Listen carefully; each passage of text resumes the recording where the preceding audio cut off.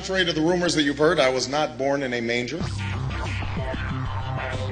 I was actually born on Krypton and sent here to save the planet Earth. We cannot continue to rely only on our military in order to achieve the national security objectives that we've set. Everybody somewhere between the ages of 18 and 25 will serve three months of basic training. We've got to have a civilian national security force that's just as powerful, just as strong. Yes, we can. Obama's healthcare plan will include coverage of all essential medical services. Yes, we can. Obama is a cruel hoax. He works for Wall Street. He's an agent of finance capital. Where did you come up with the number $700 billion? Here's the uh, Treasury spokeswoman's quote. It's not based on any particular data point. We just really wanted to come up with a really big number. To Democrats and Republicans who've opposed this plan, I say, step up to the plate. A few members were even told that there would be martial law in America if we voted no. Secretary Henry Paulson is no George Washington. I don't think anyone questions, Mr. Kashkari, that you're working hard. Our question is who you're working for. Obama pledged that he would resume the Security and Prosperity Partnership talks between Mexico and Canada that, that President Bush initiated. The old boss is starting to look a lot like the new boss. Robert Gates is going to remain on the job as defense secretary for at least a year. Plenty of sources knew about this meeting, uh, told us and others that it was at Hillary Clinton's house, but clearly uh, it wasn't. We've got to give them a stake in creating the kind of uh, uh, world order that I think all of us would like to see. We see you causing a depression so you can blow out the economy and consolidate it and bankrupt it. We know that you are enemies of free humanity, and we are here standing against your tyranny.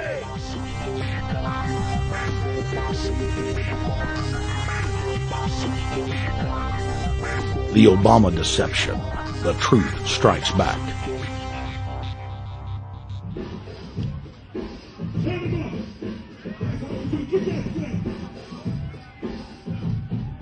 Barack is like the manager of Burger King. All presidents are, including Bush.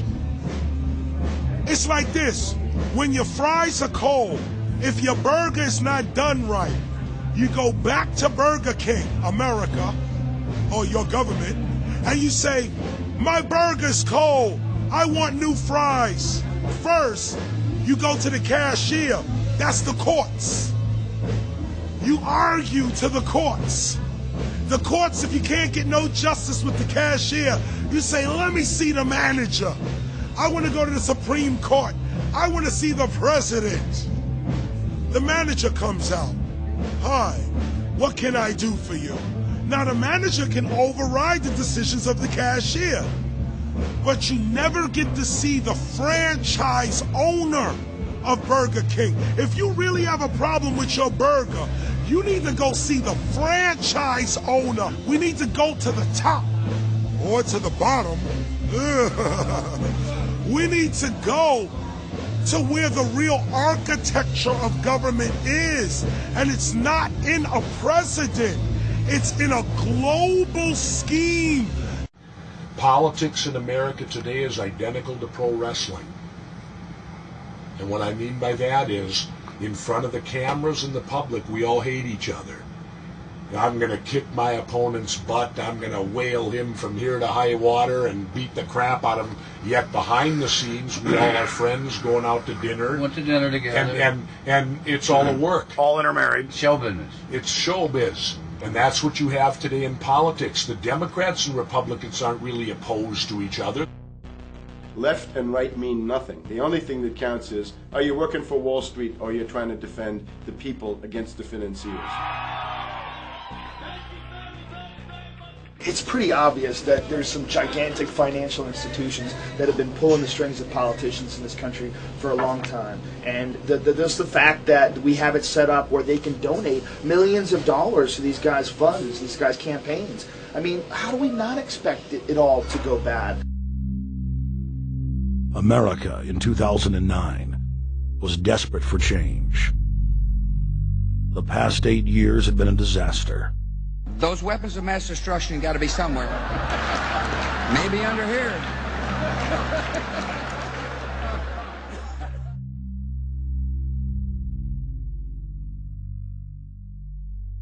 George W. Bush, who had claimed to be a conservative, had tripled the size of the federal government, shredded the Constitution, and destroyed the image of the United States worldwide. Nope, no weapons over there.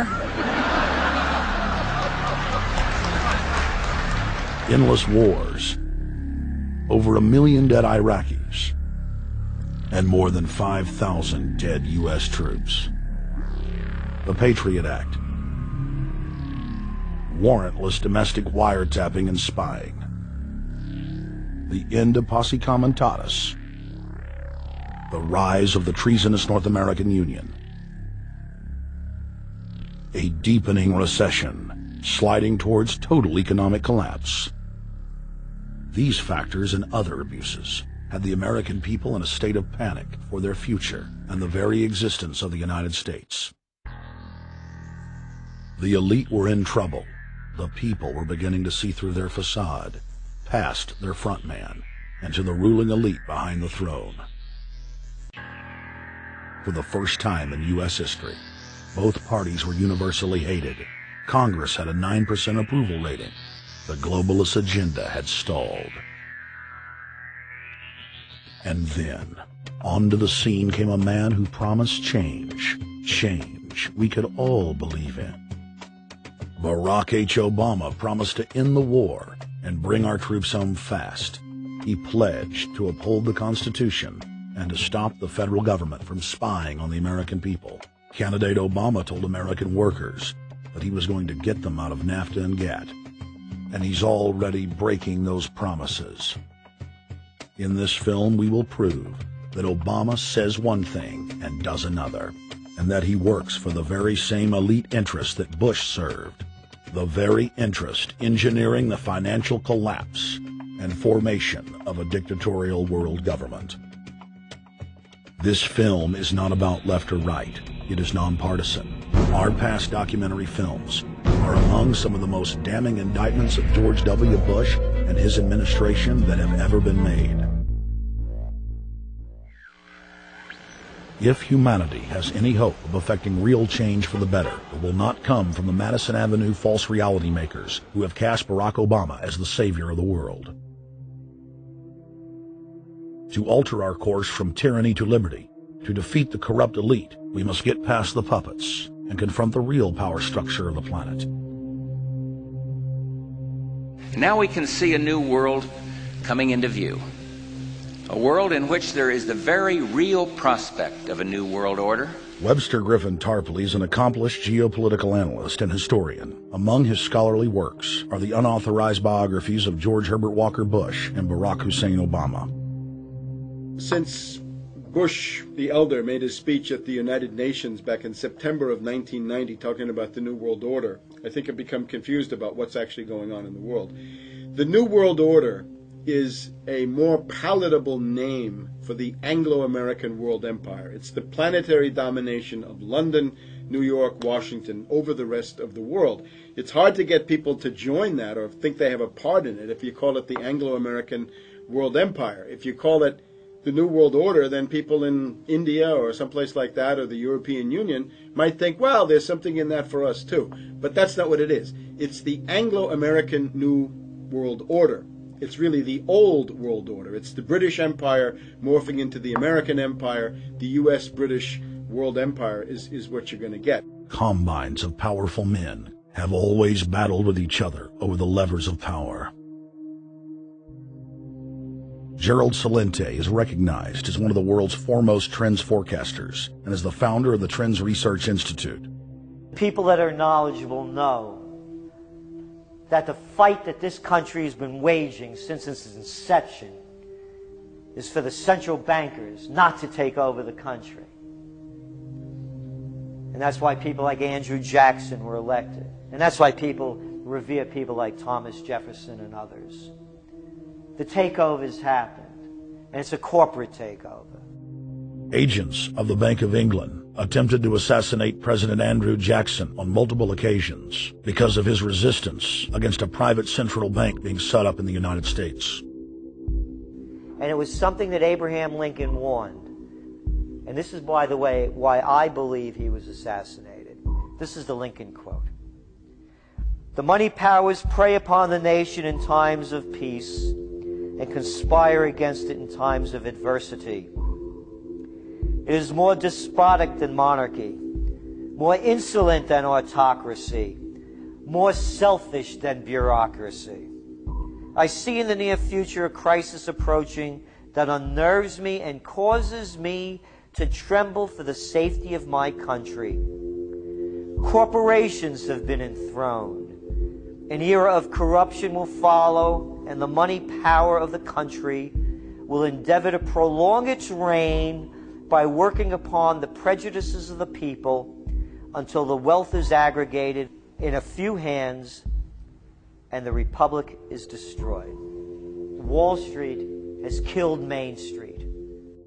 So I know how unpopular it is to be seen as helping banks right now, especially when everyone is suffering in part from their bad decisions. I promise you, I get it.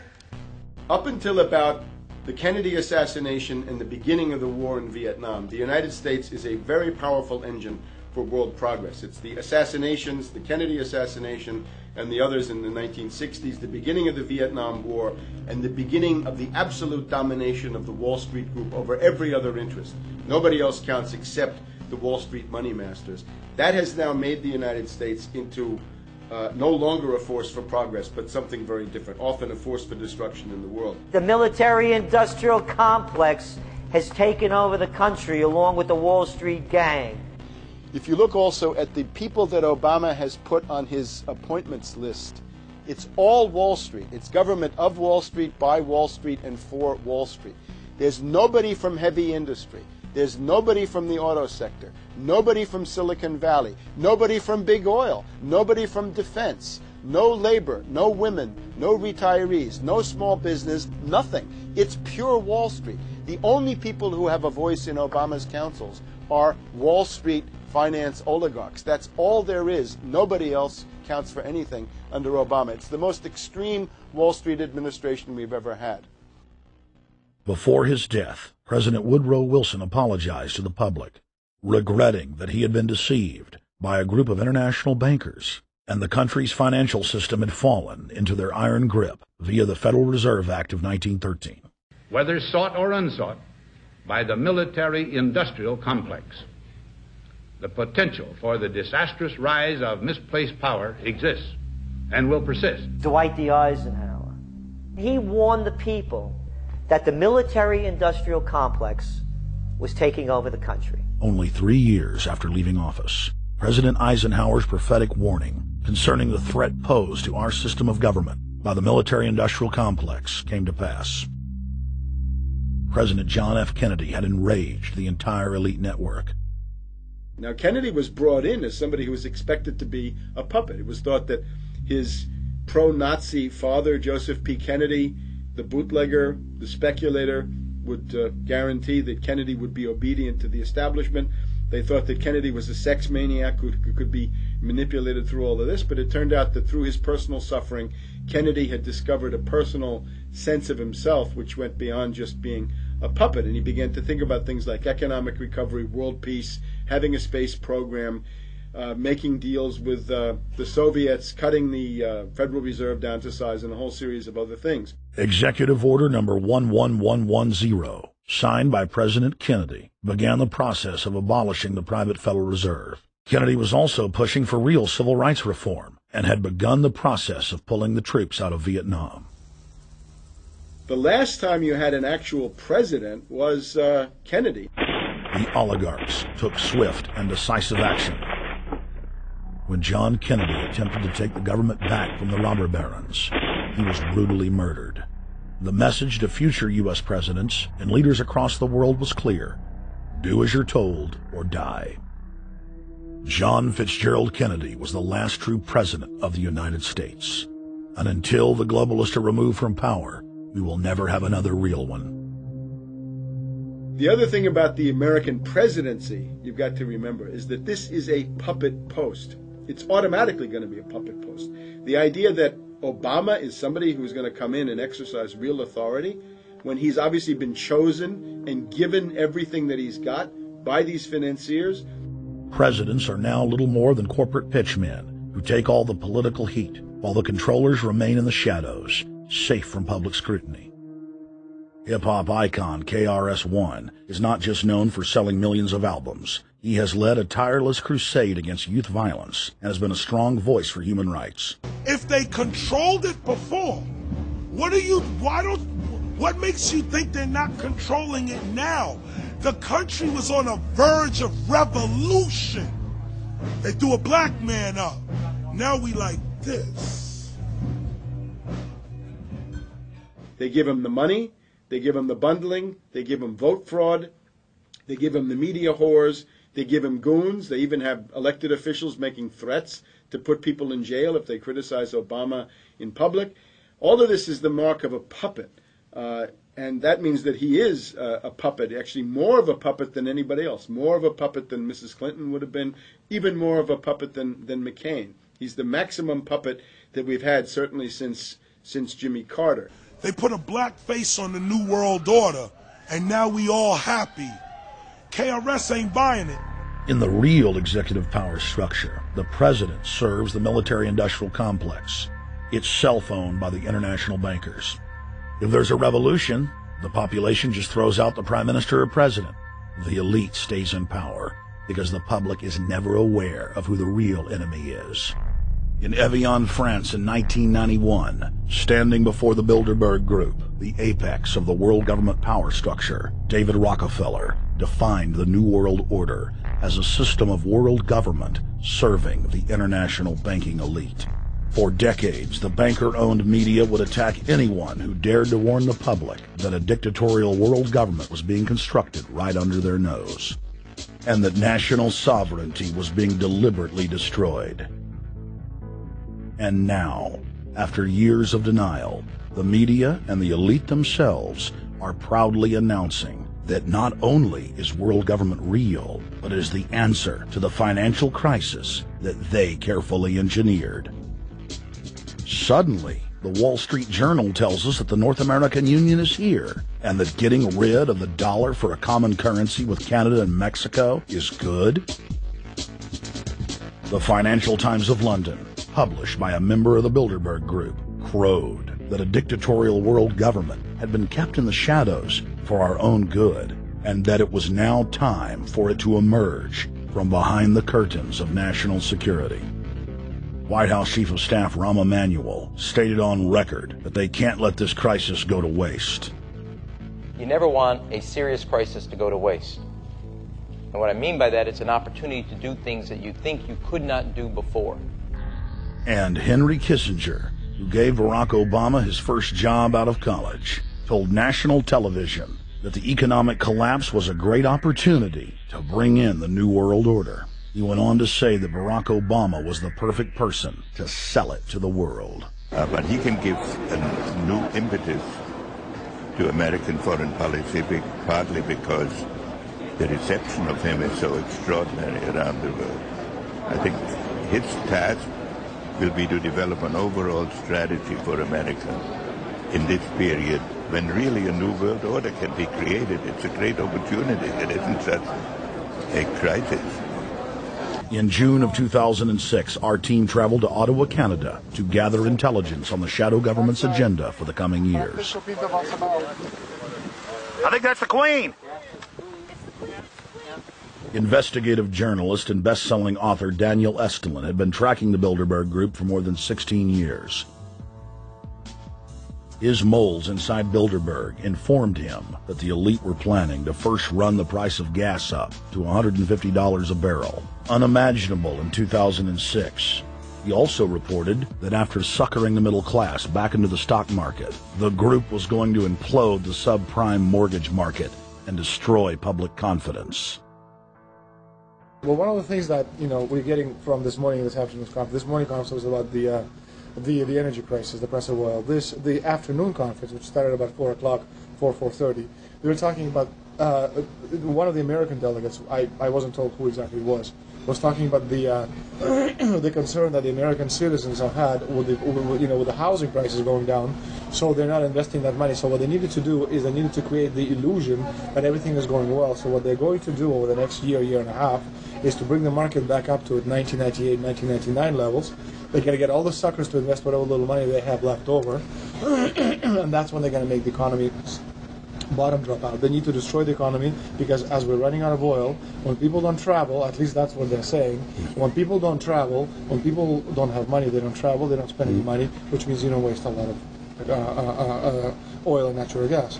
That's the afternoon. So how does this source? I mean, just ballpark. I mean, so so you have the sources. Of, well, actually, there are two people uh, who are members of the Bilderberg Club. It's actual members. They're members of the Bilderberg Club who, for years and years and years, have been going and participating in all the conversations. And they've always been dead on, always. And last year they said the oil prices are going to go up to 150. At the time it was 39, went up to 76, basically doubled. If it doubles again, it's going to be back to where these people. Say. They attack Iran and will it? Year after year, Estulin and other reporters like Jim Tucker are able to report on future events with stunning accuracy, all because they know the agenda of the Bilderberg Group. The Bilderberg Group sits at the top of the world power structure. 125 of the richest and most influential individuals on the globe make up its membership. From Istanbul, Turkey to Chantilly, Virginia, we have tracked the elusive Bilderberg Group. Bilderberg always insist on a media blackout. By June of 2008, we had already figured out that Barack Obama was the elite's puppet of choice. The national media claimed that during the weekend the Bilderberg group was scheduled to meet, that Obama had speaking engagements set for Chicago and the Midwest. We knew better. In a classic bait and switch, the Obama campaign told the press corps to get on Obama's campaign plane and that Obama would join them on the flight to Chicago. Campaign staff then slammed the door shut. The fawning press had been shanghaied as Obama's campaign aircraft lifted off without Obama. Robert, why were we not told about this meeting and that the senator wouldn't be on our flight until the doors were shut and we were about to taxi to take off? Again, uh, uh, uh, you know, uh, we had a desire. Senator Obama had a desire to do some meetings. Others had a desire to meet with him tonight in a private way and that's what we're doing. Uh, we set up these meetings. They're being they're being done tonight. Again, I, I'm I. Is there more than one meeting? Is there more than one person with whom? I'm not going to get into all the details of the meetings. I, I, I don't know that I've got a ton more different answers for all of your questions. Obama wasn't going to Chicago. He had a meeting to attend, a secret meeting. Initially, it was believed that the secret meeting took place at Clinton's Washington, D.C. home. Obama's spokesman denied that, but won't confirm where the former rivals met. He also declined to comment on their topics of discussion. For a day and a half, the mainstream media engaged in a wild goose chase, trying to find out where Hillary and Obama had gone. Three cover stories later, the corporate press had to admit they had no idea where the two candidates had gone. And to this day, Clinton and Obama aren't talking.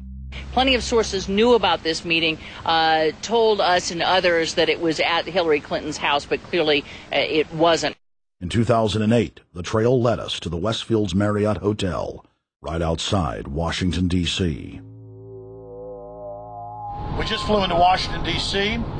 We're driving to the Westfields Marriott. Tomorrow, the hotel's closed throughout the week into the weekend for the Bilderberg Group meeting.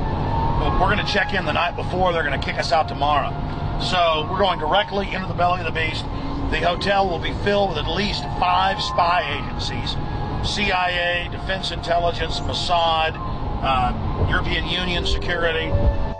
We checked into the Westfields Marriott 48 hours before hotel guests were scheduled to be thrown out ahead of the annual meeting. The building was nestled in the heart of the military industrial complex, with the National Reconnaissance Office and Raytheon just a stone's throw away.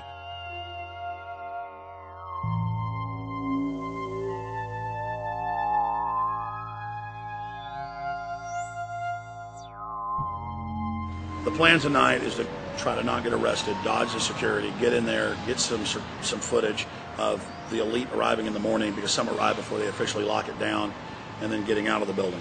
Uh, that's our plan. I'm also going to be uh, getting a call by a uh, international syndicated radio show, Coast to Coast AM with George Noory, and all week he's getting briefings from me every night uh, about things as they develop.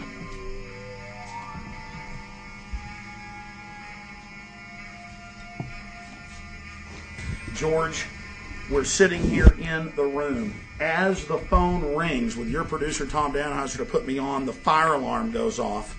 Uh, so everybody is exiting the building. I know this is a setup. They timed it exactly when this happened. Open the door. I want them to hear the fire alarm. Open the door. I want people to hear this live to the you know, 16 million people listening.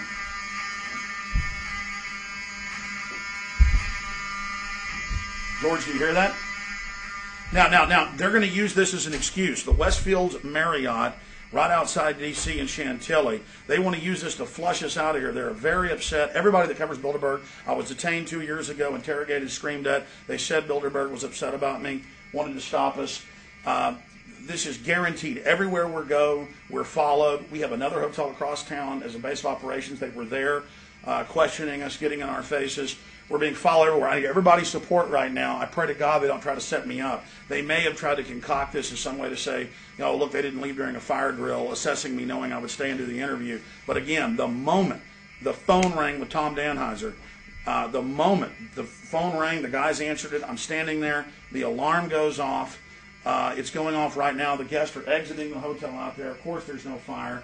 Uh, this is just absolutely insane. I noticed too that there was over 100 security people here today, but tonight we got back and it was a total ghost town. And this is what's insane.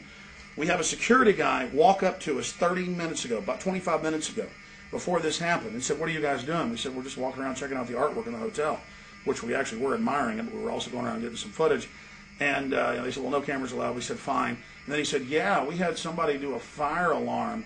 a few weeks ago, and me and Rob, my camera guy, were on. Why is he telling us about a fire alarm? I forgot that part, George. These bastards have done this. I don't know how. They're planning to try to set us up or something, but this is incredible. We are here in the middle of this right now, George.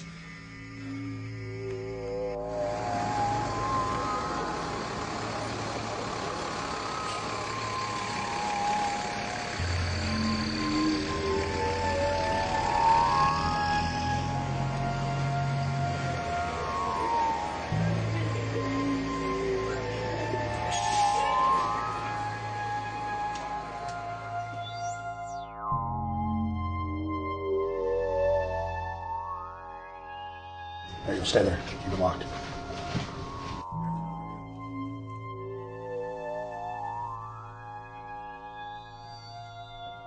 Let's go. Let's get out of here now, Richard. Don't screw around anymore. We got out of here on exactly the right time. Is this the way out?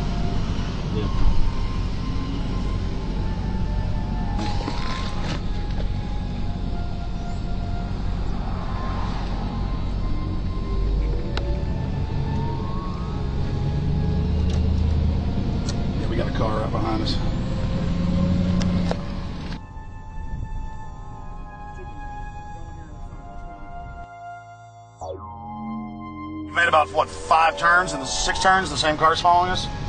Uh, now he looks like he's following us into a. He, he came out of Bilderberg. He came out of the Westfield. He's being a little bit subtle, but not too. So there he is. That's him over there in that the blue green, car. Uh, yeah.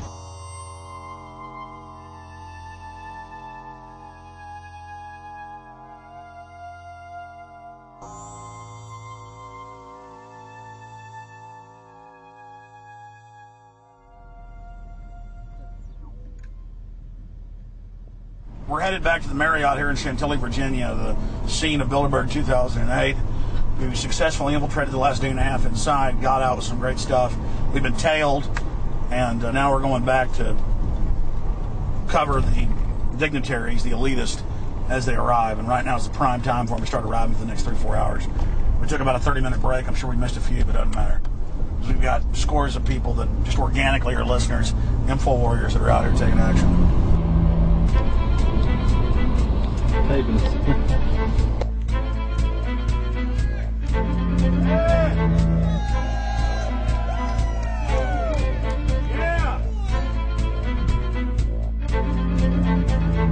we're going to be out here for the next three days while you try to chart the future of our destiny. We're taking our destiny back!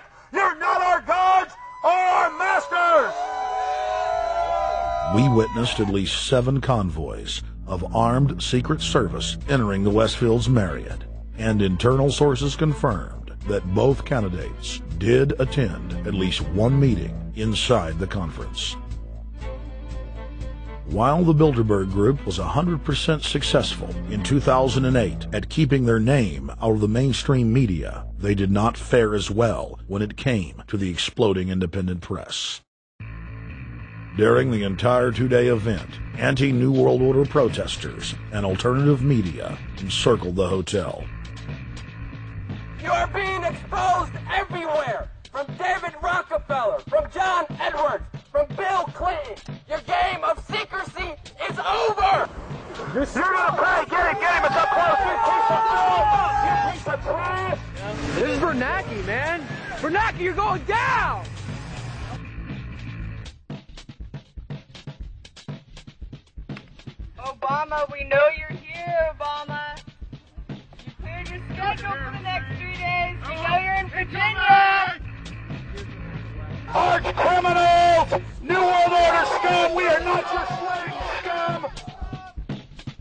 Brave Americans came from all over the United States and bullhorned the main conference hall at close range as the global power brokers schemed inside.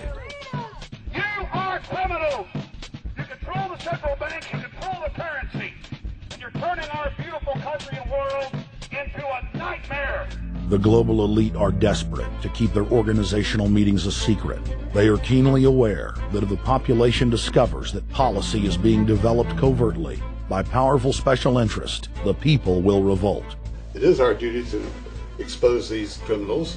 It's a criminal act uh, under federal law for federal officials to have private meetings to discuss world policy uh, with uh, non uh, non-federal workers.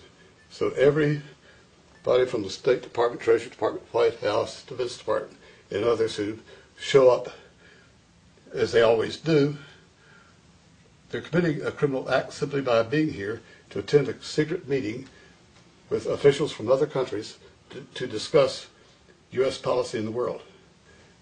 So literally, it's a criminal act. And every newspaper, every broadcaster has a patriotic duty to expose these scum and the uh, evil they, they project. The election primaries served as a great diversion while the true future course of the nation was being set behind closed doors. You've got obviously the Bilderberger Group, founded by the former Nazi uh, uh, Prince Bernhard of Holland. You've got the Trilateral Commission, founded by David Rockefeller's Zbigniew Brzezinski. They're the ones who ran the Carter administration. Everybody in the Carter administration, from Carter and Mondale and Volcker and Brzezinski, were all members of the Trilateral Commission. Founding member of rap sensation Public Enemy, Professor Griff gave us his view of the Obama phenomenon. Barack Obama's been given a pass by the Blue Bloods. He's been given the okay by certain secret societies for them to let him in. I truly believe um, imperialism and fascism needs a facelift. Uh, and that facelift is going to have to be black. And the, the reason why I believe that simply because um, I think they, they, they're trying to go into Africa. Well, they're already in Africa. But they want to totally control all the natural minerals uh, that they're going to need to carry themselves into the 21st, 22nd, and 23rd centuries. Mm-hmm. Uh, you follow me? So I think they, they, they have to go through a phase of galvanizing the masses of dark-skinned people that truly believe that change needs to come, but the change that they're talking about is not necessarily change for the better as far as the masses of the people.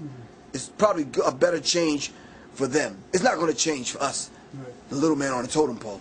And no one looks at the agenda. As long as he positions himself right, have the right tie on, have the right smile, um, uh, repeats the slogans over and over, and drives it and drives it home. The average, the average American is just going to swallow it hook, line, and sinker, and we don't even know what the agenda is. Writing in his 1964 book with no apologies, Senator Barry Goldwater said, The Trilateral Commission is intended to be the vehicle for multinational consolidation of the commercial and banking interest by seizing control of the political government of the United States. The Trilateral Commission represents a skillful, coordinated effort to seize control and consolidate the four centers of power political, monetary, intellectual, and ecclesiastical. What the Trilateral Commission intends is to create a worldwide economic power superior to the political governments of the nation states involved. As managers and creators of the system, they will rule the future. Bilderberg issues executive decisions and prime directives to its subdirectorates for implementation. The Trilateral Commission takes the Bilderberg Group agenda and executes it through regional roundtable groups throughout Europe, Asia, and the Americas. The Council on Foreign Relations serves as the managing roundtable group in the United States sector. The Council on Foreign Relations has dominated every administration since the days of FDR. The way in which they make policy and rule is that they are a polycentric oligarchical system. You have to be a finance oligarch. Remember, this is not a society ruled by generals, not by priests, not by bureaucrats, not by demagogues, none of those, but by bankers. Bankers rule, and the bankers set up these institutions. They set up things modeled on the Royal Institute for International Affairs, Chatham House, and the Milner Roundtable of the period right after the uh, Boer War, so even before World War One. You had the British setting up these roundtables, institutes with publications and conferences, and this is how they make policy.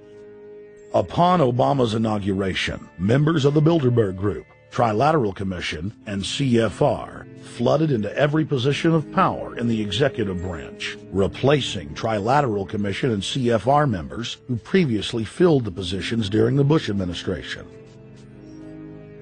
When you look at the uh, U.S. ruling class, you'd have to say that they're a really pathetic bunch of failures and bunglers. They are a miserable excuse for a ruling class. And that's one of the big problems we have is you go from Clinton to Bush to Obama.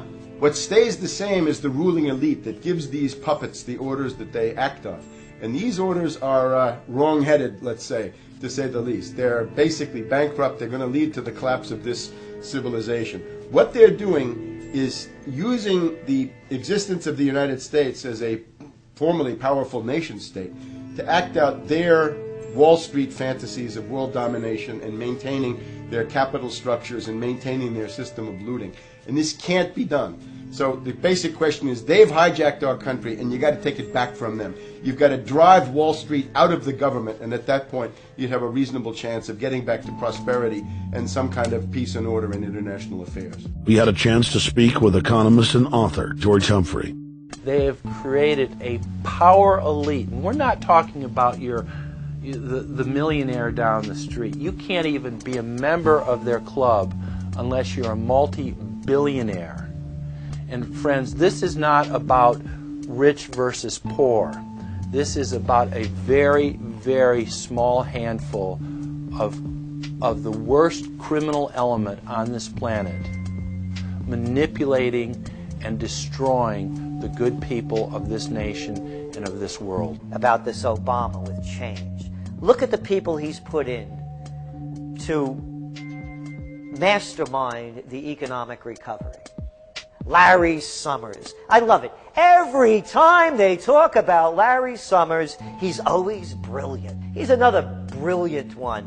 He's the one that helped dismantle the Glass-Steagall Act, the banking act that was put in place in the 1930s, so the banks couldn't get become the banksters that they become. In the 1990s, you had the beginning of the derivatives bubble, thanks to people like Alan Greenspan, Rubin, Summers, a lot of the people who are now back in the Obama administration. And the derivatives, I think, are the centerpiece of this entire problem today. These are the same people, Geithner from the Treasury Department. Could you imagine that?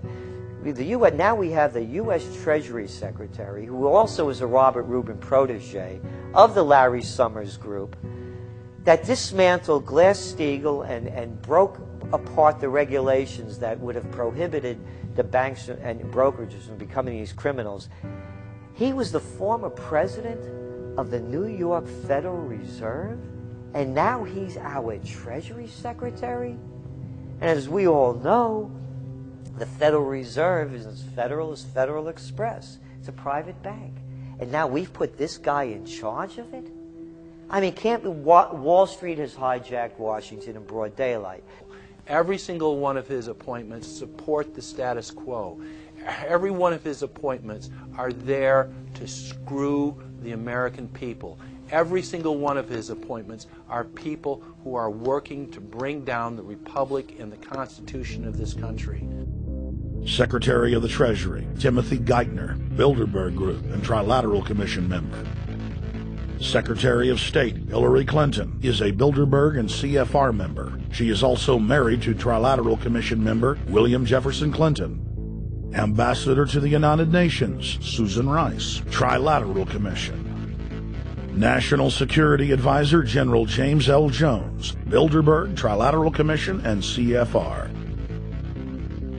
Deputy National Security Advisor Thomas Donilon, Trilateral Commission, CFR.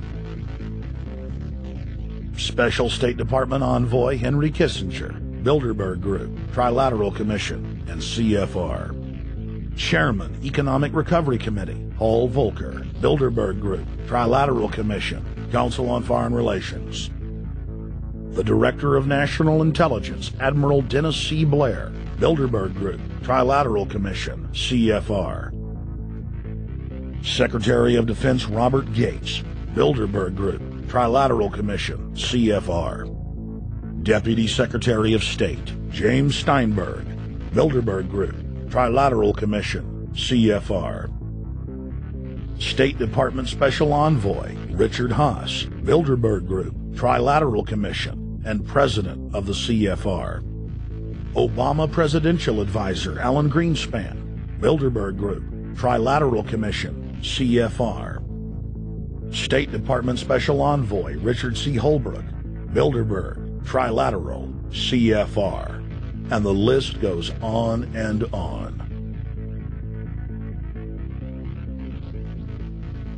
even if Barack Obama were the most wonderful person in the world, he was groomed and brought to power by the global elite to carry out their agenda. Humanity must look past Obama and realize that presidents come and go, but the shadow government and their program of global enslavement continues. How could people be so stupid and gullible to believe a bunch of political people? So people who voted for Obama were trying to express, I think, first of all, something worthwhile. The hatred for Bush, Cheney, the neocons, the desire to punish the Republicans for their adventures, their police state, uh, and their economic depression. The second question was on the economy. People felt that uh, Bush was selling them down the river into a world depression. He is, of course, the new Herbert Hoover in that regard, so they were trying to get something different from that. The tragedy, of course, is, and this is really why Obama was groomed and prepared over a period of almost 30 years now, that Obama is there to frustrate and to deceive all of those hopes. Uh, Obama is a cruel hoax. He's a bogus sham. He's an absolute denial of everything that you'd expect from an, from an American president. It is very disturbing to see well meaning people falling for high tech propaganda over and over again. It happened after 9 11. The American people en masse were swept into a mob psychology, irrationally throwing their common sense to the wind and doing whatever the administration told them to. The general public eventually caught on to the fact that George W. Bush was a deceitful thug and that the economy was in freefall. In the midst of it all, Barack Obama was there, speaking out against the abuse of the people at the hands of the establishment. With the election of Barack Obama, the world rejoiced that the United States was no longer in the hands of madmen. But unfortunately for humanity, this was another vicious fraud. I want to like the guy. He speaks gently, he's intelligent, he is he seems to be a man of peace. He he is just as charismatic as they come. But you know what? is that a tree is really, really measured by the quality of its fruit. And when you kind of put away all the flowery words, when you put away all the rhetoric, when you put away all the rock and roll music, what he does is what's important for the people of this country, starting with the truth. Obama is notoriously a liar He promised that he would get out of Iraq, I think within 16 months at some point. We had Samantha Power telling the Scotsman uh, that he wouldn't be bound by those promises, and sure enough, he's now not going to be bound by those promises. Obama pledged in hundreds of speeches and interviews that within six months of being elected, he was going to bring our troops home from Iraq. But after he was inaugurated, the story changed. Now he said that they would look at bringing some of the troops home in 16 months. Two weeks later, his story had changed again. Now the administration would look at bringing the troops home in 23 months. Well, Obama's already fudging. He's fudged since day one in this election, where he first said we're getting out. Well, now it's a timetable, and now it's da da da. Because they're getting to him. They're understanding that, and he ain't going to be able to get him out because people more powerful than him got us in. When he first ran, remember he was going to take the troops out. I get in there, troops come home. Day one. There is no military solution in Iraq, and there never was. I will begin to remove our troops from Iraq immediately. And then that went to 16 months. And now he's going to add, they're saying, another 30,000 or more troops to Afghanistan. Next, he sent 30,000 more Marines to Afghanistan, doubling the total number of forces in the crosshairs. Barack then announced that he was going to move missile systems into Eastern Europe to encircle Russia. But after all, what should we expect after he kept Bush's Secretary of Defense Robert Gates? The outcome of this policy is if you're constantly meddling near the Russian borders with these fascist creeps, IMF NATO agents like Yushchenko of Ukraine or Saakashvili or Georgia or these Kaczynski twins in Poland or various collections of people in Latvia, Lithuania, Estonia, you're tied to these gangsters, and if they decide to start a war, that rapidly escalates into thermonuclear World War III. This is worse than the neocons. Bush and Cheney never got as far as Brzezinski, Soros, and the other people running Obama. Barack Obama swore that he would vote to repeal the Patriot Act, but then he voted for its reauthorization. Obama decried the Bush administration's illegal warrantless wiretapping of the American people. Then he voted to legalize it. Obama pledged that he would filibuster any attempt to give retroactive immunity to the telephone companies, the telecom companies, except he then turned around and voted for that bill. Most people don't know, for example, that he voted to reinstate the Patriot Act and more government wiretapping. Candidate Obama told desperate factory workers in speech after speech that he was going to renegotiate NAFTA and GATT to make it more fair for American workers. It is absolutely true that NAFTA was a mistake. But then his campaign was caught sending out memos to top corporate leaders telling them not to worry and that it was just campaign rhetoric. We had Obama saying, you know, I'm against free trade. I don't like NAFTA and all those free trade sellouts. We had Austin Goolsbee going to the Canadian diplomats and saying, don't don't mind him. He's just popping off. That's just election era rhetoric. Doesn't mean anything. Presidential candidate Barack Obama was publicly criticizing the North American Free Trade Agreement in a bid for votes, but privately telling Canadian officials not to worry about it. He said that he was going to bring us peace in the Middle East. He said that he was going to bring us transparency and a balanced economy. He said that he was going to not have have lobbyists. He said he was going to clean up government. He said he was going to work for the environment. And point by point by point, within the first month of his inauguration, he has lied and deceived and cheated the American people. The people of the United States and the world were filled with hope that Obama was the real deal when in his first week in office he signed an executive order supposedly closing Guantanamo Bay and other secret prisons. Then the press actually had a chance to read the executive order and were shocked to find that the executive order only said that Obama was thinking about closing Guantanamo in a year. But worst of all, the executive order continued the practice of rendition, which the LA Times called secret abductions. They don't know. They think that he's signed off immediately on closing Guantanamo. but he's allowing prisoners now to be taken to foreign countries and, and, not knowing where they're sending them and to be tortured in foreign countries. They don't know that they kept that provision in there.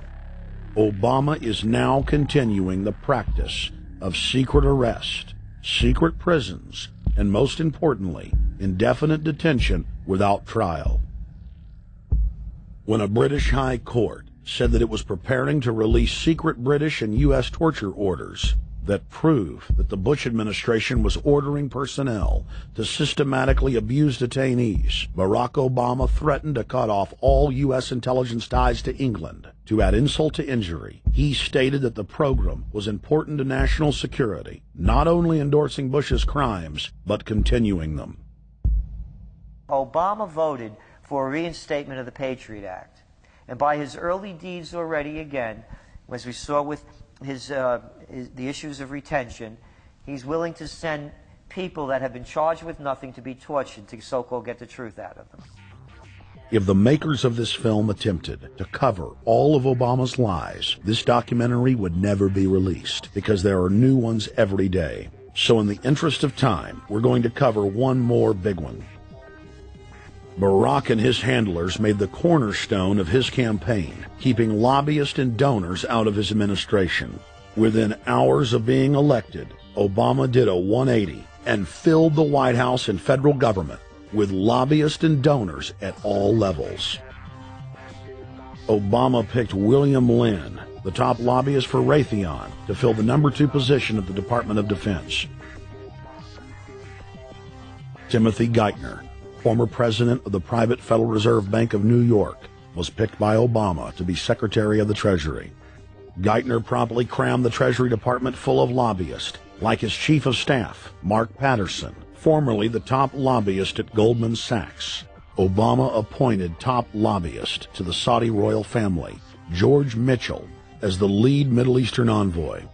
Obama appointed the king of Wall Street lobbyists, Leon Panetta, to head up the CIA. Obama tapped Tom Daschle, top lobbyist for healthcare firms, to run the Department of Health and Human Services, and the list goes on and on. Then, three weeks into his administration, Obama launched a new lie, more outrageous than the previous. With Academy Award level conviction, he said that he was upset about the banker bailout, which his own chief of staff, Rahm Emanuel, another former Wall Street executive, had engineered. Obama said that he had signed an executive order capping the CEO's salaries of those who had taken the bailout money. There was just two problems. All the major banks and brokerage firms were exempt, and the new order only dealt with any future bailouts. And those were to be on the honor system. What gets people upset, and rightfully so, are executives being rewarded for failure. AIG, Bank of America, and Citigroup, which have received billions in bailout money, don't fall under this plan. Only banks negotiating future agreements with the government will be restricted. But this appears to be built on an honor system, and White House Press Secretary Robert Gibbs had a hard time explaining how enforcement would work. Well, let, let, let me get, uh, I, I, will get uh, clarification from Treasury on that. Generally speaking, this is already the biggest liar and the biggest disappointment that we've seen in recent history. And again, qualitatively beyond the rather low standards set by Bush the Elder and Clinton in terms of delivering on, on promises. Bottom line, Obama is a fantastic actor and an even better liar. His track record is clear. He has done the opposite of everything he told the people he would do. They'll make up one lie after another. And if you believe these people, knock yourself out. I don't believe a word they say. Within one month of the passage of the first banker bailout bill, the press reported that over $5 trillion had just disappeared out of the U.S. Treasury. By December, the amount of money that had been stolen had reached 8.5 trillion. The leadership of both political parties circled the wagons and would not discuss where the money had gone.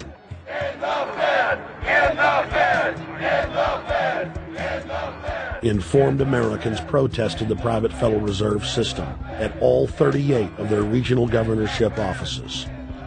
Arrest Bernanke and Paulson! Arrest all the criminals that stole the banker bailout money! It was refreshing to see people standing up against the real power structure, not being distracted by the elite's frontmen like George W. Bush and Barack Obama. We traveled to Dallas, Texas to cover We the People taking on the real enemy. Hey, I want to talk to the workers up there on the parapet. The ones smoking cigarettes that just jumped back. You're, you're with the American people, we know that. But understand, ask the workers inside. You're not in a federal government building. You're in a private Federal Reserve that uses that name as a fraud. That'd be like if my first name was Federal Reserve Jones. I'm still not the federal government. I'm not a federal agency. But if I said my name was Federal Reserve, I could go out and pay off politicians and get them to allow me to get into power so I could issue the currency and credit and then I could buy up the world. That's what these criminals have done. A lot of people think that the Federal Reserve is already part of the government. They're not. It's controlled by cliques of unelected, unaccountable bankers meeting in secret. Most of these people have never even been through the formality of a Senate hearing or a Senate confirmation. They claim that they're part of the U.S. Uh, government. They masquerade as if they were part of the U.S. government. But in reality, this is a purely private operation. Jackals, hyenas, raptors, all of them loyal, not to the American people, but to the Wall Street banks, which is where most of them come from. Everyone is pointing to Barack right now, President Obama, as saying, you got to get the economy together. You got to get the economy together. When in fact, the president has very little to do with the economy. It's the Federal Reserve chairman that at least sets the policy. That's a privately owned company, the Federal Reserve Bank. They set the agenda. These guys are masquerading as a federal institution. They are a private banking consortium, and this is their front, their holding company. The Federal Reserve is not federal. It's a front for a private banking cartel. That's on record in congressional testimony, and they're the ones orchestrating the economic collapse we're seeing right now, so that's why we're here. While at the End the Fed rally outside the Federal Reserve Bank in Dallas, Texas, we spoke with Ron Paul's brother, Wayne Paul. 1913, the Federal Reserve Act was passed, floor of the House, where three members of Congress were on the floor. At that time, they only needed a majority of votes to pass it. So in 1913, the Federal Reserve Act was passed. 20 years later, 1933, under Roosevelt, the United States was declared bankrupt. And in 1933, the Federal Reserve Private Bank says, okay, USA, what are you going to pledge as collateral on the debt you owe me? What happened by 1936? Does anybody know? We instituted Social Security system, and you and I and our children and our children's children were pledged as collateral on the debt of our government to the Federal Reserve. And that's where we're at today. It took 20 years to make this country bankrupt, and since then, our government has operated under emergency powers of our government. It is not the president that makes the decision in this country. It's the Secretary of Treasury who turns around and is put in there by the Federal Reserve to manage the bankruptcy. We've been in bankruptcy ever since. So to print $700 billion and to give it away, how do they get away with it? The manager of the bankruptcy is told by the Federal Reserve this is the way to go. That's where we're at today. Yes, we should point out Congressman Ron Paul now has a huge amount of sponsors for a bill in the House of Representatives to abolish the private Federal Reserve crime syndicate. In 1913, the money power of the country was taken away from the people by constitutional privilege. It belongs with the Congress, but it was given up in the Federal Reserve Act. The Federal Reserve is no more federal than Federal Express, but yet it has the power to determine the direction of use of money in our economy. If we could take that power back and put the Federal Reserve under Treasury, we start to be in a position of being able to control monetary policy on behalf of the United States people.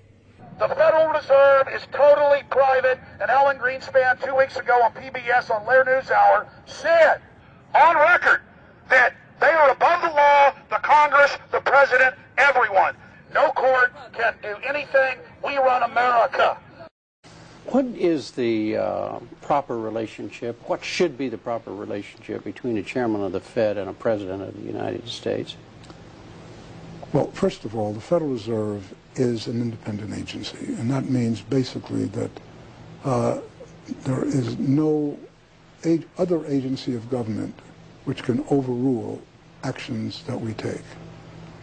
So long as that is in place and there is no evidence that the administration or the Congress or anybody else is uh, requesting that we do things other than what we think is the appropriate thing, then what the relationships are uh, don't frankly matter. Notice what Greenspan is saying. Greenspan is saying the Federal Reserve is beyond the law. And in reality, they are in practice beyond the law. Nobody, as far as I know, has ever audited the Federal Reserve. One of the first things we ought to do when we nationalize the Fed is go in there and find out the audit. Who stole money? Who engaged in corruption? There's a whole series of people going back to Volcker, to Greenspan, to Bernanke, uh, and so forth. Think of the arrogance of private group of banks that have bankrupted the nation by design so they can repo the country. A private group of banks that loaned us our own money back are telling us they're above the law. You are not above the law, criminals. No one is above the law. No one is above the law, and the private Federal Reserve sure as hell isn't either. Since the, the founding of the Federal Reserve back under Woodrow Wilson, uh, the Federal Reserve has struck out three times. They didn't stop the crash of 1929. They didn't stop the banking panic of 1932, 1933. And now they are the cause of the derivatives crisis because they're the ones who inflicted derivatives on the world with Alan Greenspan. Instead of our economy being about goods and services and real products and manufacturing, it's all about these guys, the private Federal Reserve that masquerades as a government entity who controls the issuance of currency and credit. They're the ones that have cut off the liquidity in the market. They told us have a debt-based economy. Then they cut it off once they get us under their thumb and implode the economy so they can consolidate it. And that's what they're doing right now. I mean, it's, it's in their own documents, it's in their own statements. They claim, give us unlimited power, give us trillions of dollars of the banker bailout bill that's already $5 trillion, not 850 billion as they say.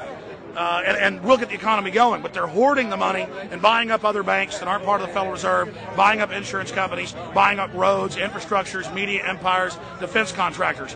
What the banks do is they implode an economy by cutting off uh, credit.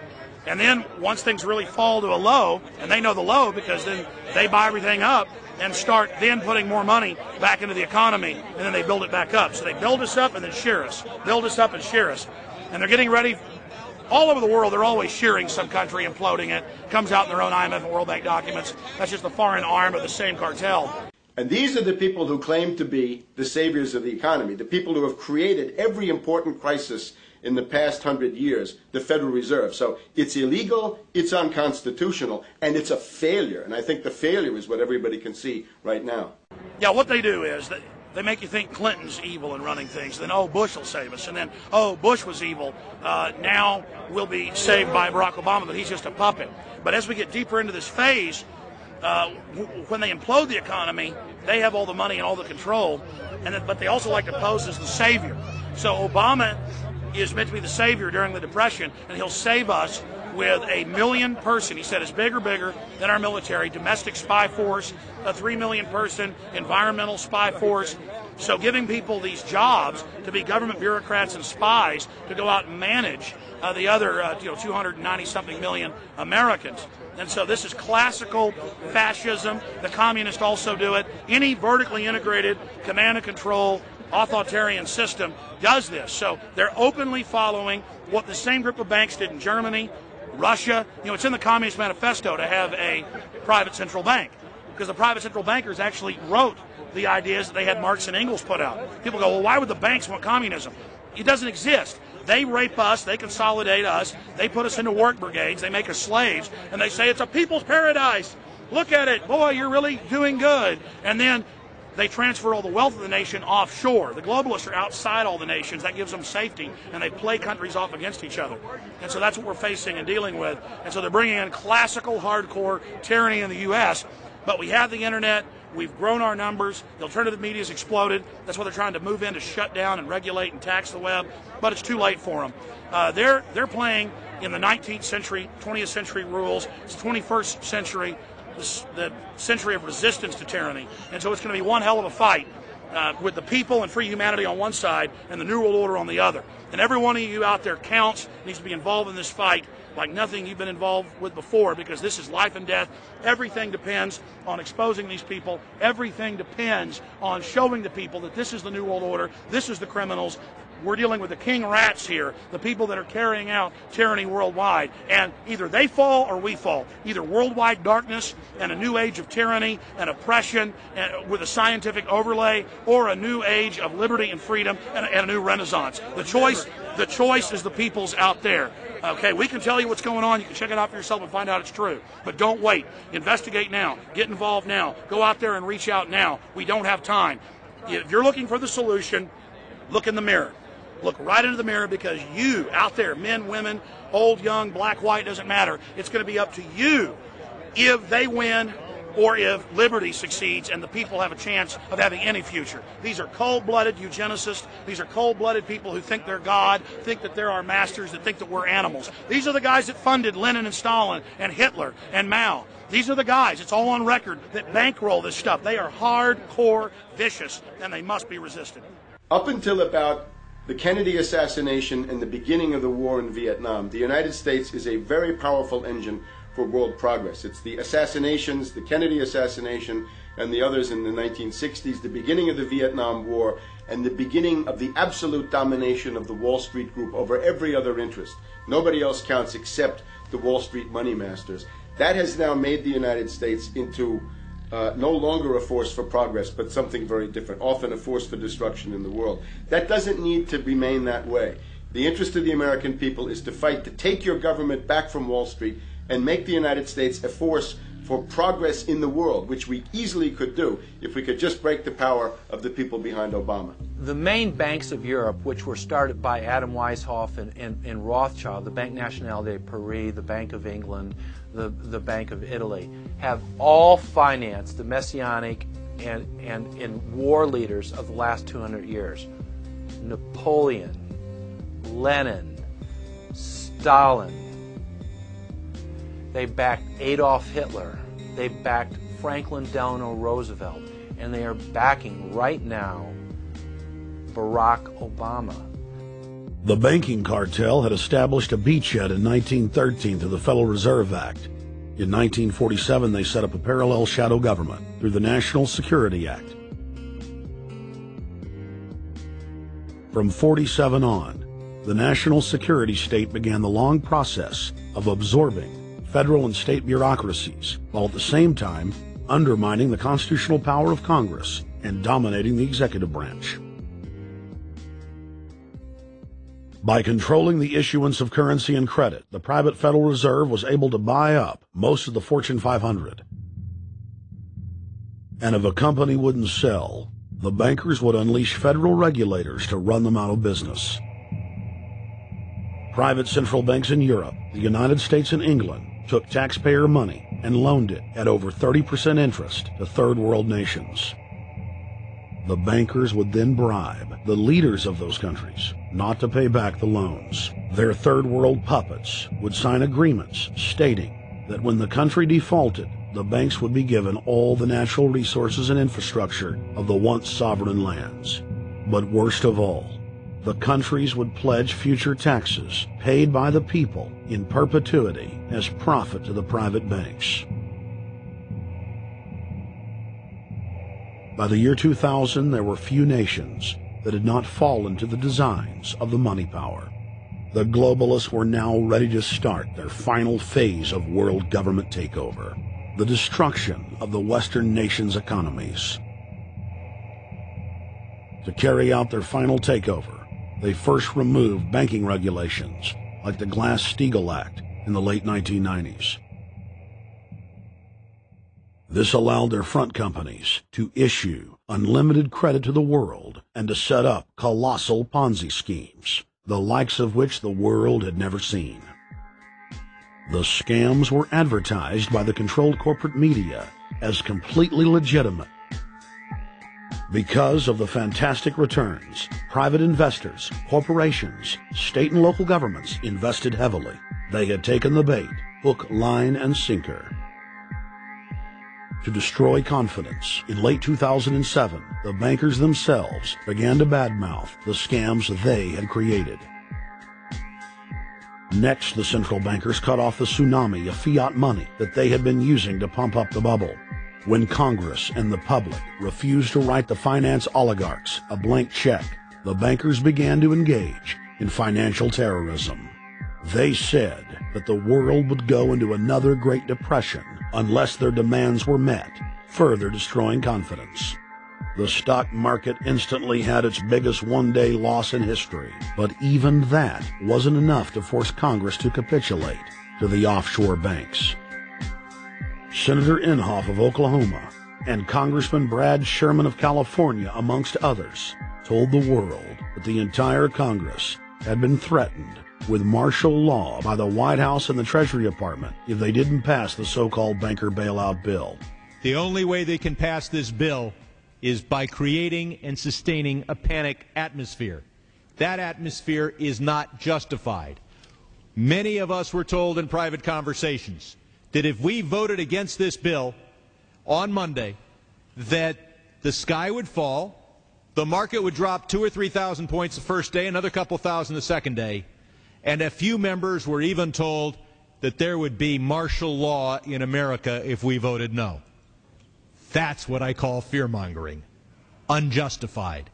The final version of the bill was kept secret from the Congress until minutes before the vote on October 3, 2008. The Federal Reserve had promised total transparency, that every dime would be accounted for. To Democrats and Republicans who've opposed this plan, I say, step up to the plate.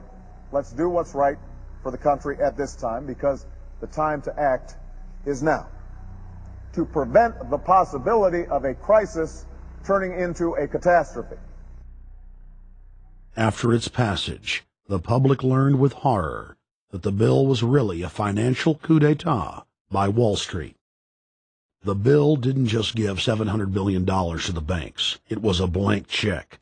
And as of February 2009, 9.7 trillion has disappeared into a black hole. Within 24 hours of its passage, Secretary of Treasury Henry Paulson said they were no longer going to use the money to unfreeze the mortgage market by buying bad debt. We went to Congress. Illiquid assets look like the way to go. As the situation worsened, the facts change. I will never apologize for, for changing an approach or strategy when the facts change. Paulson has, in the meantime, admitted that the subprime mortgage crisis is not the cause, really, of the breakdown of the entire world banking system and the bankruptcy of most of the banks in London and in uh, in Wall Street. He said, "Oh, we're going to buy up toxic assets, but we're not going to worry about subprime mortgages." What he's talking about is derivatives. Derivatives are the center of the crisis. He went on to say that where the money was going was a secret. I believe that banking institutions are more dangerous to our liberties than standing armies. If the American people ever allow private banks to control the issuance of their currency, first by inflation, then by deflation, the banks and corporations that will grow up around the banks will deprive the people of all property until their children wake up homeless on the continent their fathers conquered. The issuing power should be taken from the banks and restored to the people to whom it properly belongs. Thomas Jefferson, third President of the United States. Secretary Paulson came in with the Vice President and uh, Fed Chairman Bernanke and made all these assurances that there was absolutely a critical, immediate need to get rid of the corrosive derivative products, you know, all the different names for this and you know ubiquitous you know uh, sub S retraded credit default swap blah blah blah blah. Okay? But they they talked about them as though they knew what the hell they were. You got the money and you immediately said what items? What auction? Now the treasury just just basically cut that out of the bill. And what you know what we have here is a situation where uh, banks are, are hoarding the money that they're getting from the TARP. They're using the money to purchase other banks. And all of a sudden, the Treasury sent a signal to the banks, forget about it. We're going to give you the money that you want, and you do what you want with it. Unless you direct it specifically, it's not going to happen. I don't think anyone questions, Mr. Kashkari, that you're working hard. Our question is who you're working for. Throughout its passage, President Bush and Senator Obama worked in tandem to get Congress to pass the bill without even having time to read it, despite the fact that in major polls, 98% of the American people were against the bill. The leadership in both parties were for it. And I really want to commend Barack Obama because as we were involved in the this and that and different provisions of the bill to persuade people, he really gave them confidence that this was the right decision uh, for the American people, even though it wasn't, in our view, a great bill uh, for them to vote on. I want to take a particular moment to also thank an individual who's not here, and that is Barack Obama, who made numerous calls not only to all of us, but to members of our caucus and helped us gather the votes on the Democratic side to pass this legislation. Bankheads then bragged to the press that they were hoarding the bailout money and using it to buy up smaller, healthy banks and insurance companies. Their plan was working like a charm. Next, the central bankers loaned the federal government back $787 billion of our own money at interest for President Obama's so-called stimulus package. And just like the banker bailout, Congress was given less than an hour to read the 1,070-page plus stimulus bill. Barack Obama, who had pledged on the campaign trail to wait five days before a bill could be voted on so that the Congress and the people could have a chance to read it, said that the stimulus was too important and it had to be passed before anybody could see it or read it, or the crisis would turn into a catastrophe. Doing little or nothing at all will result in even, even greater deficits, even greater job loss, even greater loss of income, and even greater loss of confidence. Those are deficits that could turn a crisis into a catastrophe, and I refuse to let that happen. After its Friday passage, in gangster fashion, President Barack Obama took a four-day vacation and said that there was no rush to sign it. The spending bill was really a takeover bill, designed to further federalize the states and to pay off rich donors that had donated to both parties. As the world slid deeper into depression, the bankers celebrated the fire sale that they had created. I believe this, the phrase burdens of the office is overstated. Yeah, it's kind of like, why me? Oh, the burdens, you know. Why, did the financial collapse have to happen on my watch? It's just pathetic, isn't it? Self-pity. And I, and I don't believe uh, President-elect Obama will be full of self-pity with their access to unlimited fiat capital, they could now buy up sectors of the world economy not already controlled by them. For over a century, the Anglo-American establishment had worked to bring the world system to this point.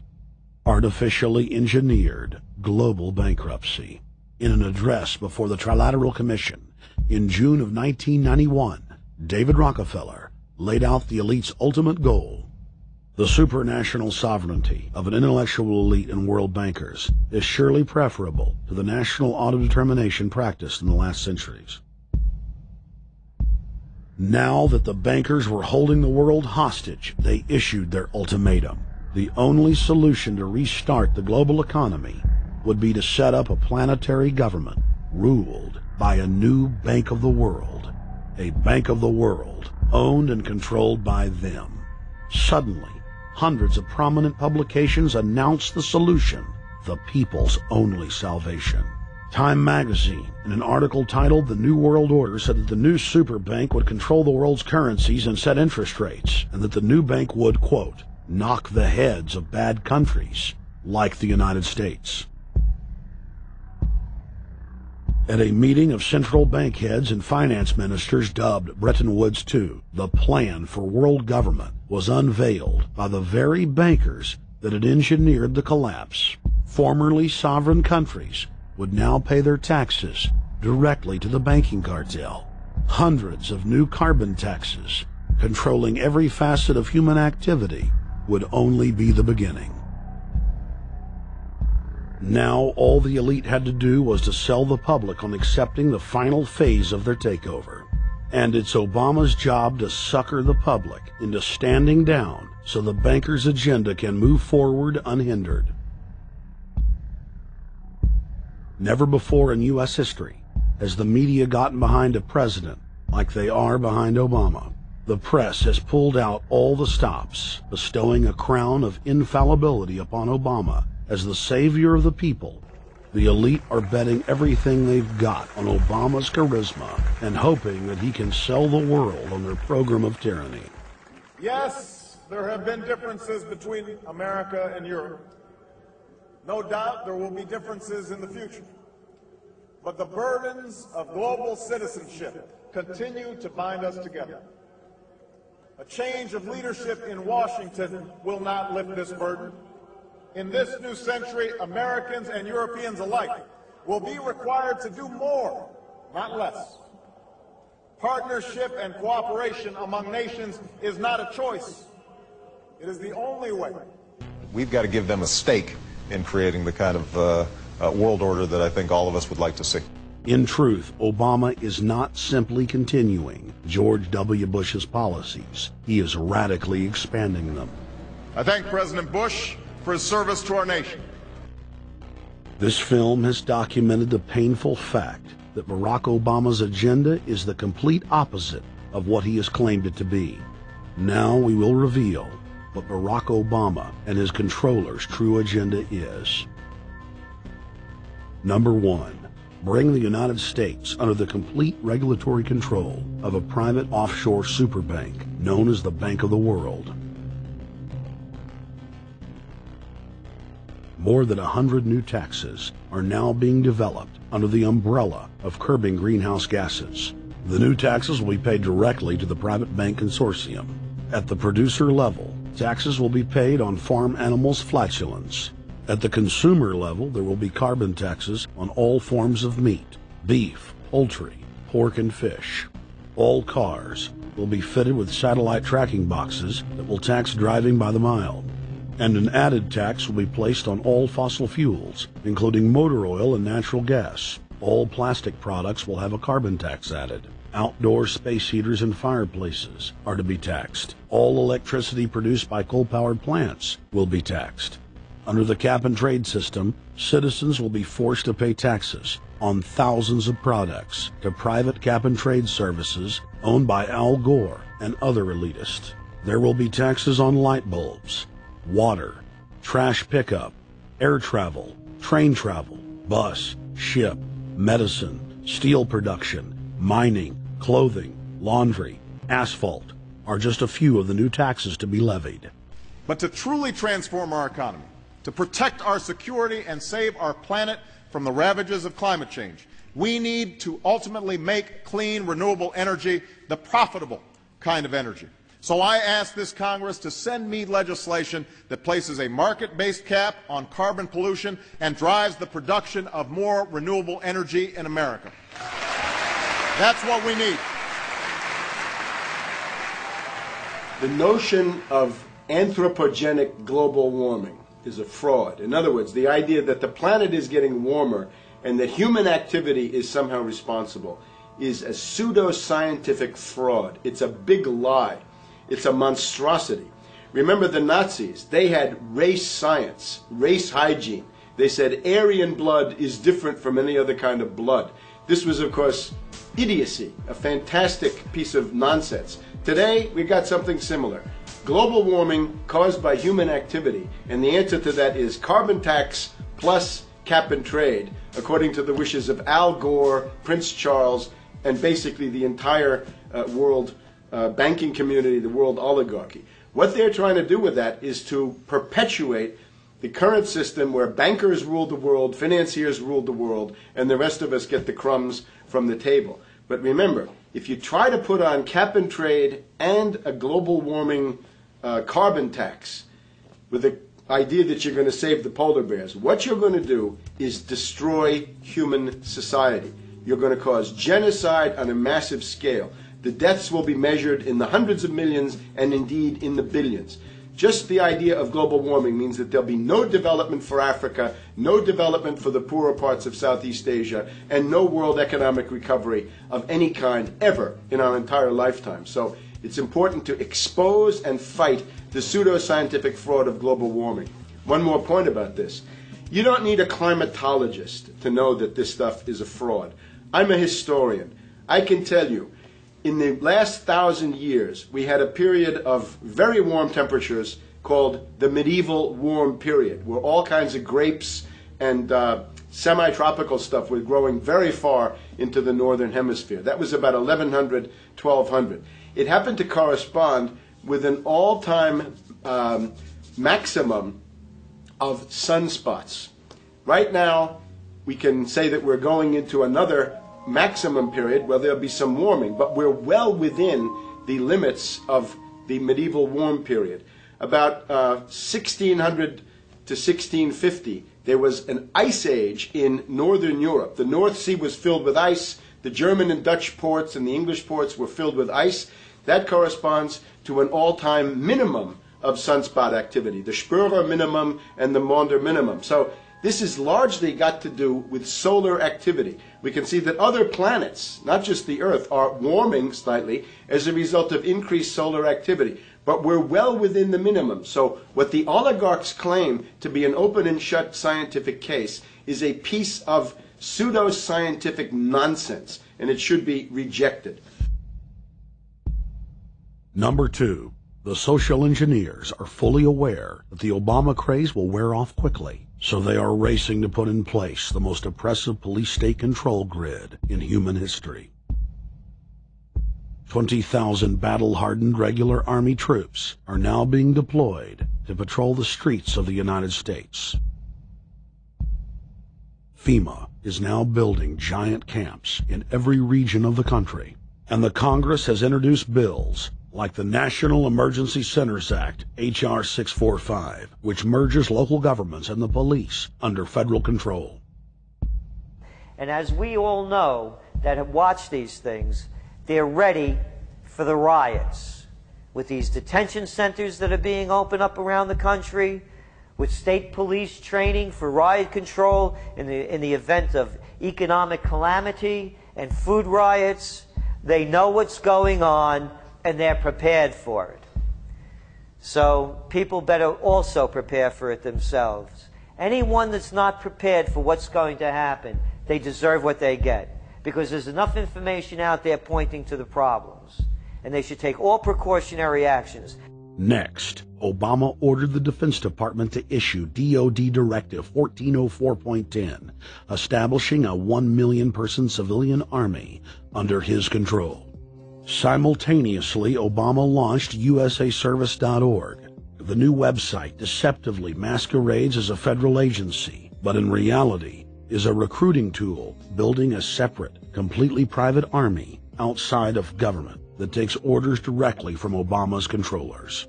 Barack Obama has refused to rescind Presidential Decision Directive 51, signed by George W. Bush. The directive plainly states the president is a dictator and that Congress is ceremonial.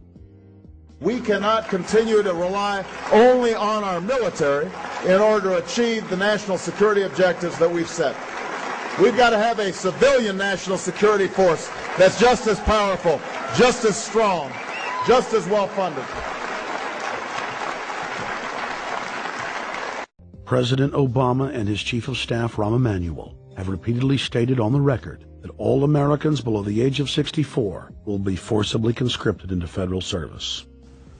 Citizenship is not an entitlement program. It comes with responsibilities.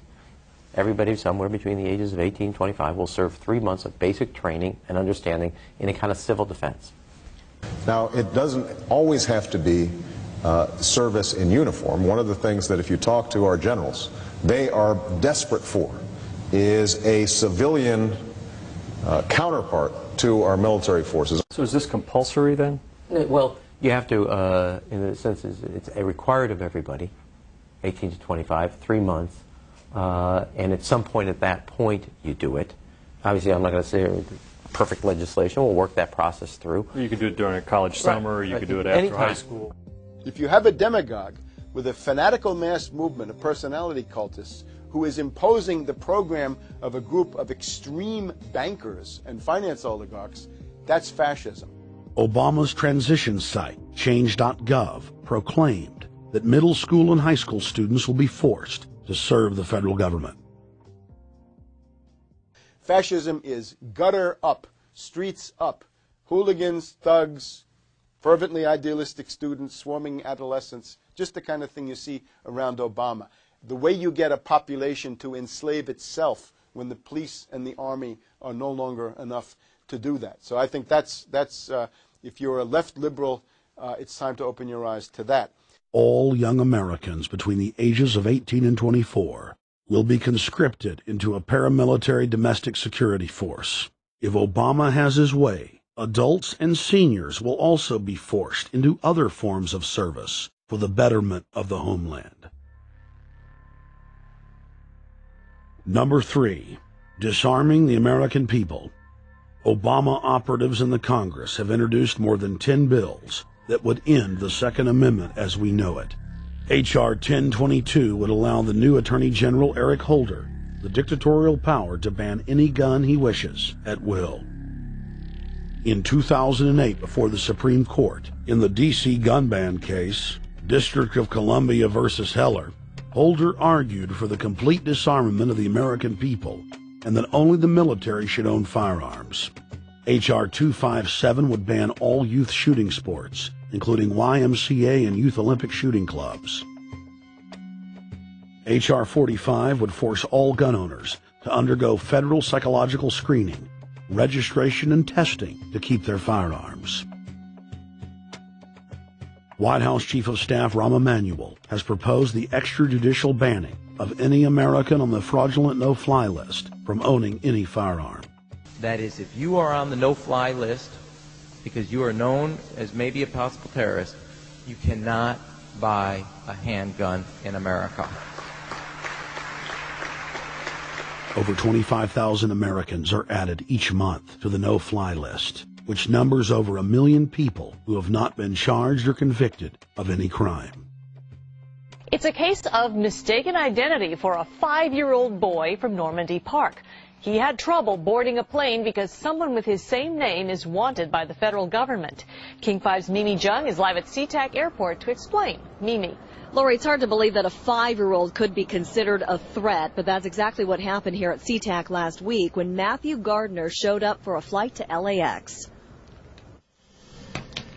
Then they cry and chatter. As five-year-olds go, Matthew Gardner is about as harmless as you can get. But when he and his mom checked in for their flight at SeaTac last week, Matthew was considered the criminal. If you're on that no-fly list, your access to the right to bear arms is canceled because you're not part of the American family. You don't deserve that right. There is no right for you if you're on that terrorist list. And even though this Matthew Gardner is only in kindergarten, TSA workers still conducted a full-blown search. They searched all of our belongings. They took everything apart piece by piece. Um, Nadia Counter says it wasn't easy being treated as a possible threat to national security. I picked up my child to give him a hug and tell him, you know, it's okay, we're doing fine. And they reported to me that I was not allowed to touch him. He was a security risk, and um, they had to re-search me to make sure that I had not um, obtained any materials from him. Number four, massive restrictions on the First Amendment guarantee of free speech. The President, Congress, and the FCC have announced plans to not only curtail speech on talk radio and newspapers, but to also regulate speech on the Internet through the Orwellian named Fairness Doctrine. The Obama machine is also pressuring Congress to pass draconian hate speech laws that will eviscerate the First Amendment. Number five, they plan to further federalize health care so that the government can dictate what kind of care citizens receive. Modeled after the British system, this includes rationing care and restricting what procedures the handicapped and elderly are eligible for. Number six, Obama is already pushing to expand the Department of Defense budget and to station more U.S. troops overseas to encircle Russia, China, Iran,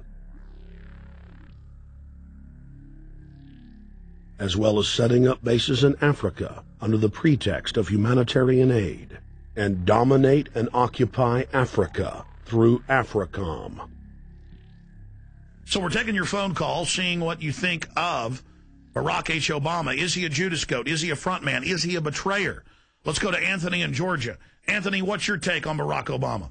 Uh, they put the face of Barack Obama as uh, part of their their public relations because it's like the old folk tales about vampires. A vampire cannot force his way into somebody's house. It gets it's against some kind of metaphysical law. So the vampire has to persuade the resident of the household to open the door and invite him in. So they're going to look at the peephole at Barack Obama, which looks like them and appears to be on their side. They're going to say, okay, here's my ally. Let me open the door and let me let uh, this person in. And then Barack Obama is just, of course, a front man for the American empire, where he's going to have the entire U.S. Navy, the entire U.S. Army, and the entire U.S. Marines under AFRICOM command. And of course, he's going to turn it into a new Iraq and he's going to turn it into a new Afghanistan. Everything, every operation that you see going on in Iraq and Afghanistan is going to propagate to the uh, poor countries of Africa. And well, sir, sir, I agree with sir. I agree with you. They're looking to the people. They see a handsome, smiling African face. You know, he's all, "Hey, I'm from Kenya," and then it's a total bait and switch. But it's the same thing here in the United States, where they would get sellout uh, Native American chiefs to sell out their people. This is the oldest right. trick in the book. And he can also pacify uh, uh, the most downtrodden minority groups in the United States. And he's saying, hey, get ready for sacrifice. Get ready to lose your standard of living. They're like, yay, I love Obama. They could never get away with this with a John McCain. Obama basically does uh, a couple of things. One is, again, this idea kick the Chinese out of Africa, kick them out of Sudan where they get oil, kick them out of Zimbabwe where they get raw materials, start a civil war in Congo, another big source of raw materials. Al Qaeda, an arm of uh, the U.S. intelligence community, is now active in Algeria, Tunisia, Morocco. You've got a destabilization going on in Kenya around Odinga. That's Obama's cousin. This is a guy who has two uh, children. They're Obama's niece and, uh, well, nephew in a broad sense. Uh, and one of them is named Raul, and the other one is named Winnie, after Winnie Mandela, who did the necklacing and political assassinations in South Africa. So this Odinga is essentially a CIA destabilizing operation in Kenya, and he's got a Odinga Islamic Alliance to crush the Christians in, in Kenya, but this also reaches into uh, Ethiopia, it reaches into Uganda, Congo, Tanzania, and a whole bunch of other countries in that region. So all of Africa is a battlefield in flames between the U.S. and the Chinese, with Obama leading the charge to kick the Chinese out for geopolitical reasons. Number seven, radically expand federal control over family farms and ranches through the Animal ID and Premises ID system. Number eight, accelerate the merger of the United States with Canada and Mexico under the Security and Prosperity Partnership. He is also accelerating the transfer of remaining federal authority to unelected quasi-governmental bodies like the World Trade Organization. Number 9. Obama must convincingly play the part of the president and convince the people of the United States that the buck actually stops with him. This is critical to the globalist master plan because in four to eight years, Obama must take the blame, as Bush did, for the New World Order's horrific agenda. At that point, the elite will put a new puppet in the ceremonial seat of power and build him up as the savior, only to tear them down again. And so the process is repeated over and over. For their program to work, it is essential that the people not learn that the presidency is now nothing more than theater. Because if they did, the people would stop looking at the pawns and start looking for the king. Through this system of deceit, the elite's criminal agenda can continue forever because the people waste all of their political energy debating the media spectacle instead of investigating the globalist agenda. Number 10. It's Obama's job to sell the public on globalist policies that aren't in the people's best interest. But the overlords have many salesmen. His most important function is to protect the criminal oligarchs from prosecution while they loot the economy worldwide, start new wars, and engage in torture. They're called Generation O, and they were the key to Barack Obama's White House win. During the campaign, Barack Obama used the internet like no other candidate before him, harnessing the energy of millions of his supporters. But the question now is, what to do with this young, eager, energetic army. This gives Barack Obama and his administration contact information for so many people, so next time he needs to push his legislation, he can contact all these people. Kennedy-esque. I feel as though this was like when John F. Kennedy was elected. Shouting, smiles, and tears. It was the scope of Obama's victory that was most impressive. I saw a photograph of Obama playing basketball. And I said, you know what? I see him as a leader, and that's the world that's in his hands. Own a piece of history, commemorating the day the world changed forever. His confident smile and kind eyes are an inspiration to us all. In summation, Barack Obama is a Madison Avenue created fad. All of the crazed Obama worship being pushed by the corporate media is scientifically designed to capture the public in a net of peer pressure mass euphoria. If the New World Order can just distract the public for a few more years, the elite can finish constructing their police state control grid. Now, a lot of times we don't want to know the issue. Right. We don't want to know the issue. We feel what do you call this thing where you get this false sense of gratification, but because a black man is in office, everything's going to be all right. No, everything's not going to be all right. Yeah. Until you look into the agenda and what the Democratic Party has been about, is about, and will be about, regardless if Barack Obama is the president or not. And that's real. Barack Obama is the perfect Trojan horse. He makes the people feel like they finally have a place at the table, even as he betrays them. I won't have to worry about paying my mortgage. Oh, it's such a blessing to see you, Mr. President. Thank you for taking time out of your day.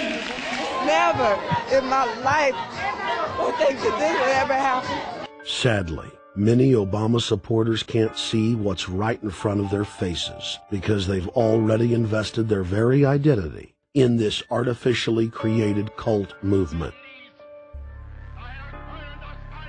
Throughout history, it has happened over and over again. People turn their intellect over to cult of personality mass movements, and it's happening again. The evidence presented in this film is documented fact, and those that ignore what history has taught us do so at the peril of us all. As frightening as the information in this film is, there are many things we can do to stop the globalist agenda dead in its tracks. First, we expose the cult of Obama for what it is, a sad hoax. Next, realize that we are all being propagandized 24-7. Investigate all information for yourself, be it political parties, the media, or this film. Be aware of the tricks that the elite use, like the staging of false flag terror attacks and other crises. Rediscover the Constitution and Bill of Rights. Promote a culture of true liberty. There is a reason the internationalists are attempting to destroy the sovereignty of all 50 states. They know it is one of the biggest threats to their domination. The federal government has been completely hijacked by foreign interest, and more than 25 states have recognized this fact and are moving to block the New World Order at the state level by declaring their 10th Amendment powers. But most important of all, there is a huge awakening taking place in the United States and across the world against the globalist agenda. Free people everywhere are joining together and saying no to corruption and tyranny and no to world government. This is the center of endurance. And endurance is what wins wars. Not how many people you kill, but how long can you endure? George Washington lost almost every battle he had, but he endured. He out endured the British. And that's how the battle was won endurance. And each and every one of you watching this, every single one of you, is just as important as the people who were our founding fathers, as that you are just as important as the Sons of Liberty who met in the 1770s to, to philosophize about freedom, to philosophize about a republic, to philosophize about a truly free country with a republic. There's a billion people on the planet. It only takes one to change it. Are you the one? There may be everybody in your classroom bugging out. Your whole school may be on fire with kids wild and bringing guns at. But are you the one? Nature has a way of abundance. Nature puts out a lot of stuff looking for the one.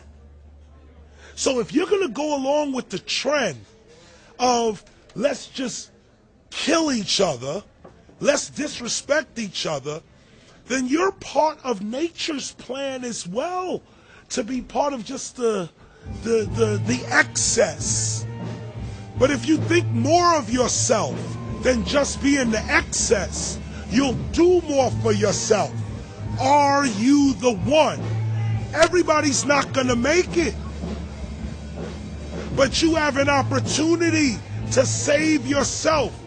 Well, we don't have to look back thousands or even hundreds of years to see how dangerous this present day situation is. We can look back to Bolshevik Russia. We can see the takeover by the Bolsheviks talking about the people's revolution, talking about the positive change. And Lenin came in and then Stalin. The fact is, is that over 40 million Russians between 1925 and 1940 good Russian, people who were Christians, people who had, who had their own businesses, people who were educated. They were exterminated because they had their own business, because they were educated, because they believed, believed in God's law. We can look over at Germany. Germany was in a very, very terrible economic situation. And this very charismatic leader called Adolf Hitler comes in. He, he, he makes the roads good and he promises a better life for the people. And within 10 years, you see a completely nationalized, centralized, dictatorial situation where millions and millions of people were exterminated. And then we can go to Maoist China. Mao came in, he, he promised change, he promised a better life, and within five years, 60 million Chinese were exterminated. They don't teach that. They don't teach that in the schools these days. And it wasn't that long ago. And I pray, pray, pray to God that this will not happen in the United States. And the way it won't happen is if you and your friends and all of us together take action to say no. This country is too precious. It's too wonderful. It's, it's too good of a place to lay down as a victim. Greatness could arise once we break the shackles of the government that's holding us back. One thing America has more than any other country is an entrepreneurial spirit. One thing we have more than any other country is the ability to be innovators. You know, if I was born in Italy, I wouldn't be the trend forecaster I am today because I would have been locked into a culture of thinking one way. We have that freedom of expression and freedom of thought that could free us to create greatness again if, if Big Brother doesn't come down on us harder. Humankind is at a historic crossroads. The forces of globalism are marching towards absolute despotism. Look in the mirror, Count the cost and decide, are you going to let history repeat itself? Or will you stand tall with freedom lovers everywhere and stop the completion of a world dictatorship?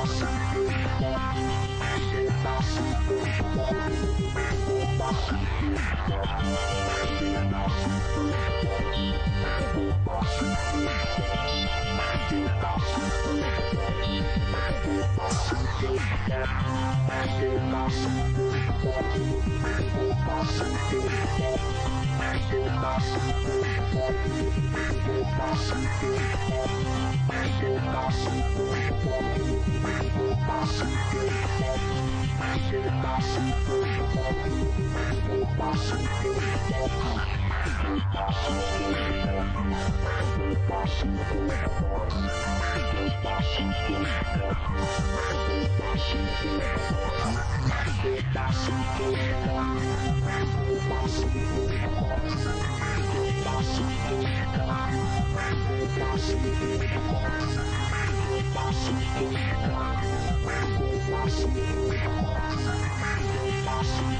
you.